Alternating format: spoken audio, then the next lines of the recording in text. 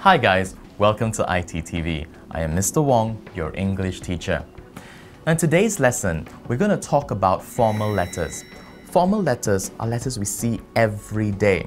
For example, imagine that the garbage collectors only came to collect garbage once or twice a month. Now, this would be a very, very big problem because number one, there would be so much garbage outside your house, and number two, imagine the smell. So, what would you do? You would write a formal complaint letter to the authorities informing them about your problem. And perhaps in time, this problem would be solved.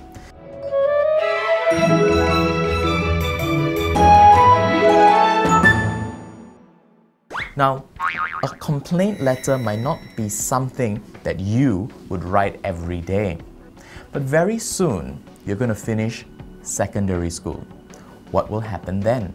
Many of you will start work straight away, and many of you will then need to go to university. Now, for those of you who start work straight away, you will have to start thinking about getting a job. Now, the first thing we do when we get a job is we write a formal letter. What sort of formal letter? We write a formal letter asking about a job. For example, let's just say we saw an advertisement for a job that we found very interesting. We would take this advertisement and write to the company. You would have to write a formal letter. Now, have you ever heard the phrase, first impressions are very important? Now, this is very, very true. Imagine if you did not write a good letter, the company might read it and might just throw it away. So, it's very important to know exactly how to write a good, proper formal letter. And that's what we're going to do today. So let's take a look at what we'll be doing today. Now let's look at the question. You have just come across an advertisement in the morning paper. You are interested in applying for the job of a customer service officer. Based on the information given below, write a formal letter to the general manager. In your letter, give your personal details, qualifications, and any other relevant details that will support your application. So, what are we doing today? We are writing a formal letter. Now, what sort of formal letter? We are writing a letter to apply for a job. So, let's look at that advertisement. Pasha. We are a well established multinational company and the world's leading manufacturer in cleaning equipment.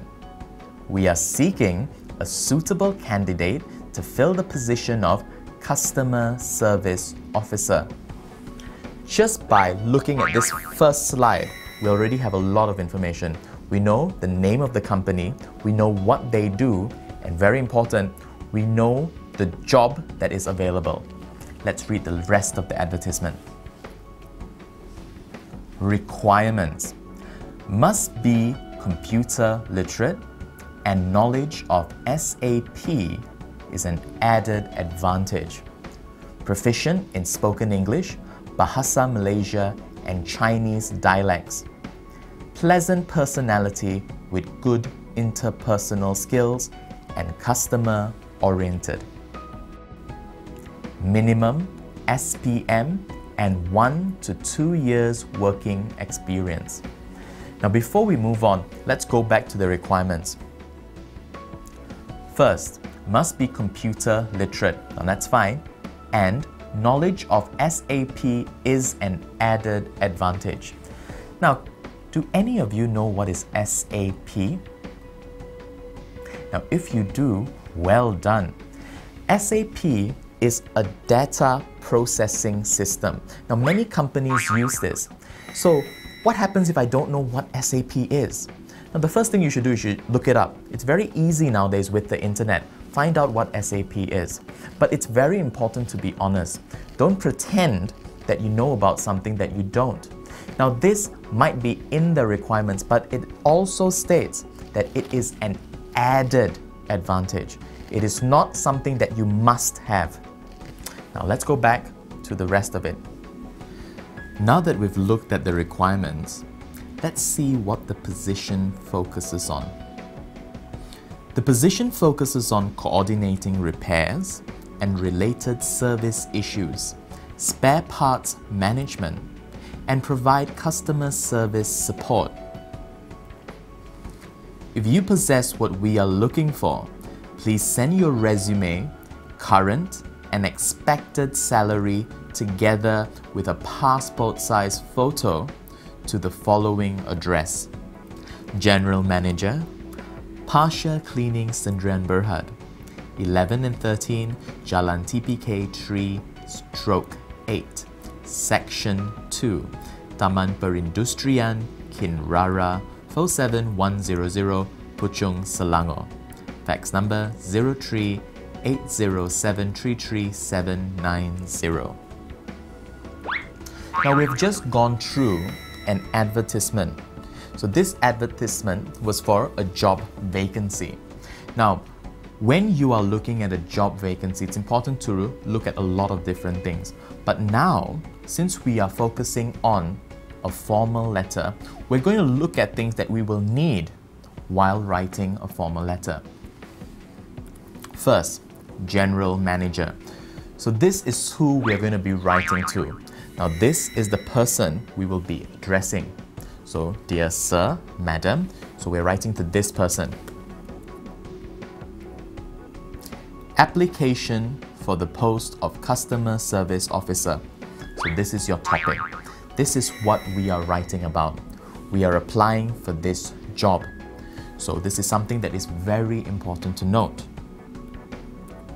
Next, we have yours truly. Now remember, you're writing a formal letter. So when you end your formal letter, you say yours truly. Don't write things like hope to hear from you soon. No, you write things like yours truly or yours faithfully. So these are some examples of how you can end. So these are some notes that you have to prepare before you start writing. So the first thing is who are you writing to? The next thing is what is the topic and end properly. Now what we're going to do now is we're going to look at a formal letter. Now as we look at this formal letter, we're going to talk a little bit about the format and we're going to talk about how you can add to this formal letter to make it very, very bountiful, very rich, and of course, following the right format.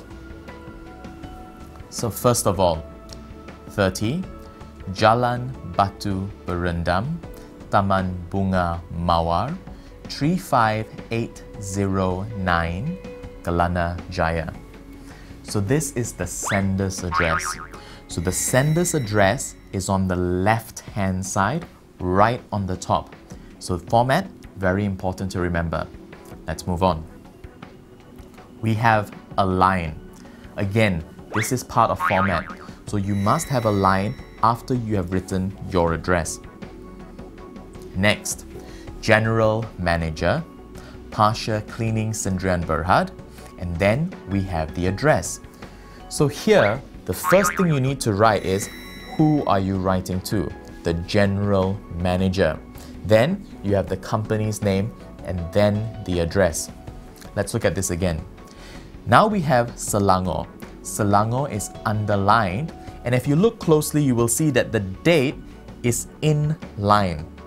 So when you write the date, the end of your address, it is in line on the right hand side. Again, this is all format. So let's go back to the top so that we can recap all of this. 30 Jalan Batu Berendam, Taman Bunga Mawar, 35809 Kelana Jaya. Remember the line.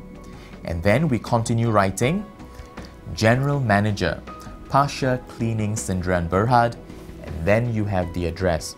Now, remember, you write the person who this letter is addressed to, then the company, then the address.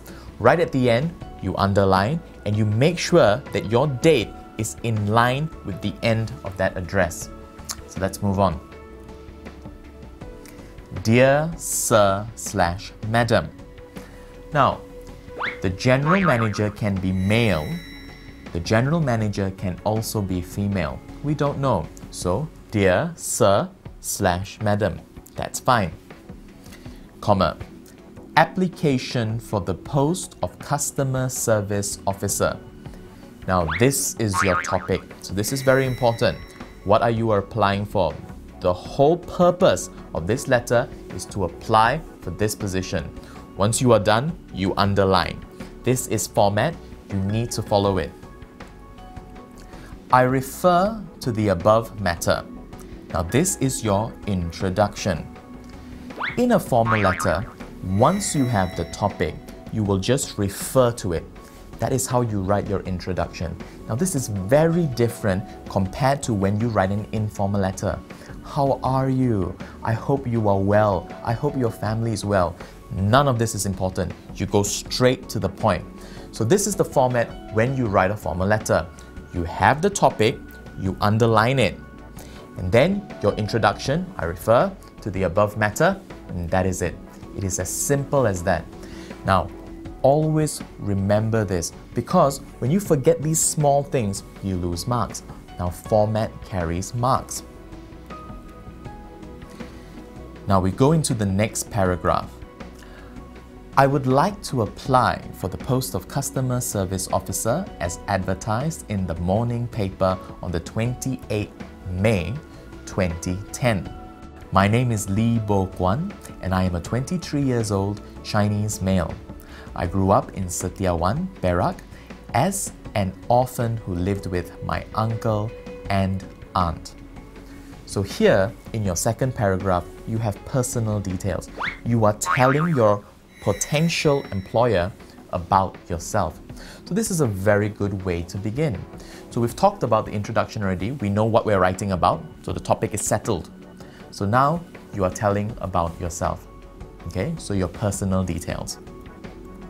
Third paragraph.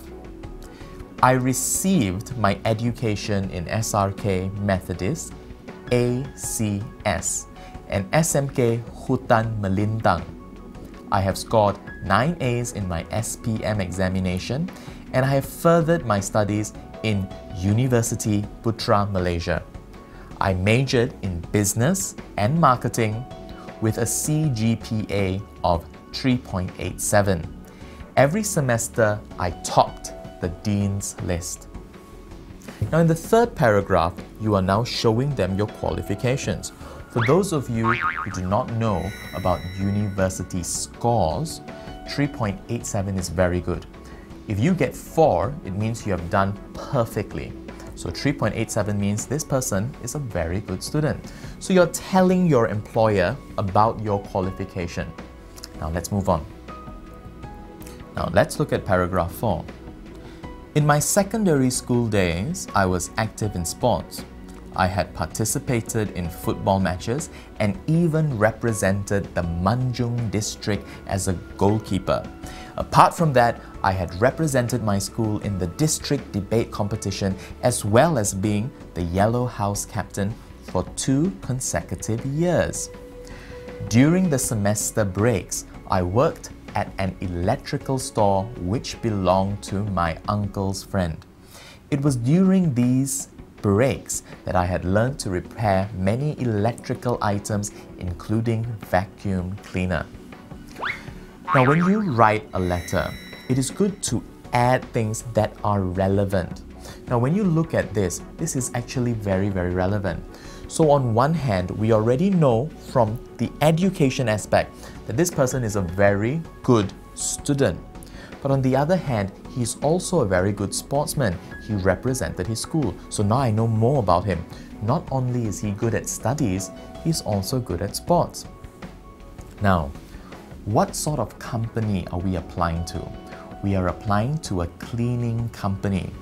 And here you have an applicant who knows how to repair vacuum cleaners. Now, is this a relevant skill? Yes, I think it is. Because when we are talking about customer service, it is always good to know about the products. So here, he's showing them his relevant skills. So these are ways you can add relevance to your letter. Now let's move on. Paragraph 5. I am proficient in spoken English, Bahasa Malaysia, and several Chinese dialects like Hokkien, Cantonese, and Mandarin. I am able to operate Microsoft Word, Excel, and PowerPoint, but I do not possess any knowledge of SAP. I believe I have a pleasant personality as I have a wide variety of friends. Now, here's a note co curricular activities or any other activities that can support your application. So, you can add these into it. Now, let's look at this. He tells about all of the different things that he is able to do. Now, one very good thing is he talks about Microsoft, Excel, PowerPoint, so we know that he knows how to handle a computer. He's also very honest. I don't know what is SAP, which is fine because it is not something that you must have. It is an added bonus if you do have it. So again, he's showing that he is qualified to do the job. And he's also very honest. He doesn't pretend to know what he does not. Now let's move on. Paragraph 6. Enclosed with this letter are photostated copies of my academic and co-curricular certificates. I'm available for interview at your convenience. So he has also added certificates that shows all of the different things that he has done besides his education. And he's available for interview at their convenience. So this is a very well written letter. Now let's look at how he ends. He ends with thank you, yours truly, Lo Bo Guan. Now, in an informal letter, you just leave it like this. But in a formal letter, it's important to write your name properly underneath. So it means printed. So here we have it, Lo Bo Guan. And here it's in capital letters, so it's nice and clear. So with that, we have finished writing a formal letter. So let's review. The first thing we did is we identified that it was a formal letter because we were writing to a company applying for a job. Now, how do we begin? The first thing we need to do is we need to remember the format. Now, in an informal letter, you start on the right.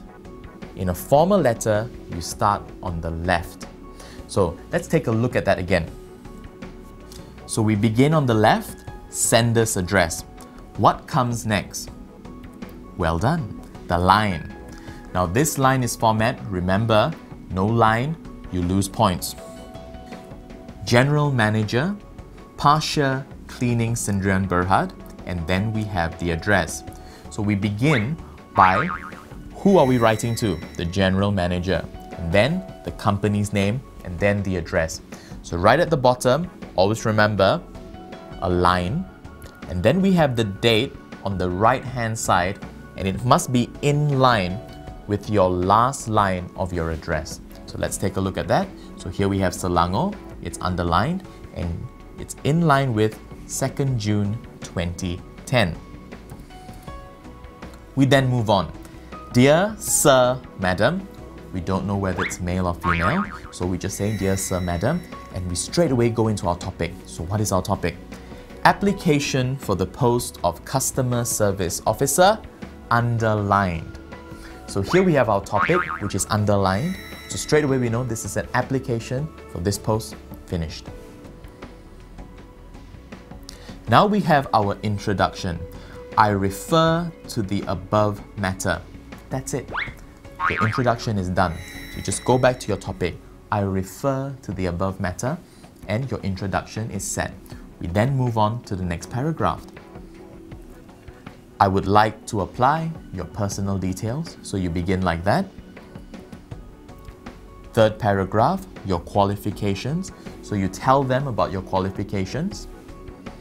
Fourth paragraph, he speaks about football, being a goalkeeper, he also talks about being in the debate competitions.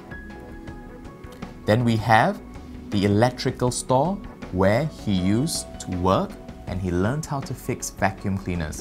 So here we have relevant experience. So this adds on to it. So you have another paragraph and you're telling them about other things that you have done that is relevant.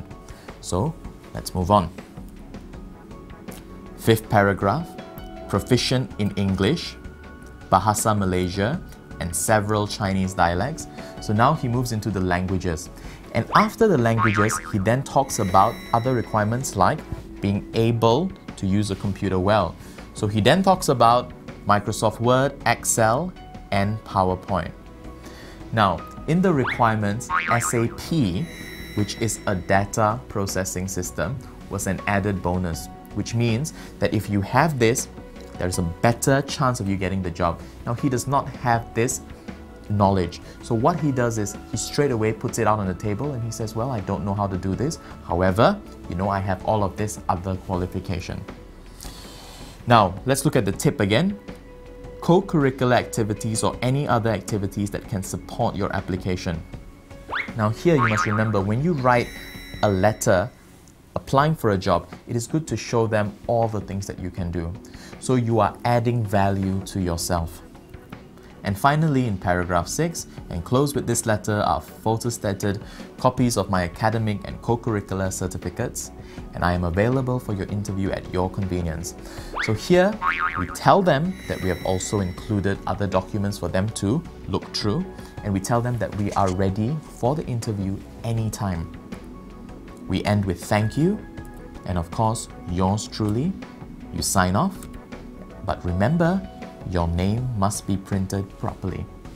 And with that, we have finished writing a formal letter.